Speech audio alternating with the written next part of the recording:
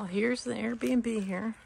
Well, I'm at an Airbnb here in North Carolina on my way to Clifftop. Yeah, we got a compost toilet there. And then guess what? There's a Finnish sauna right there.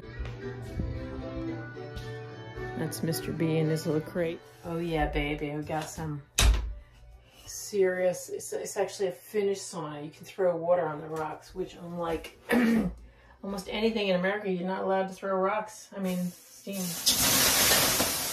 Oh yeah, baby. Ah, oh, gosh, I don't know. There's just something totally relaxing about sitting immediately into heat. I can't wait till this is fully heated. Anyway, it's a great, I have to say that after 46 different saunas in Finland, I really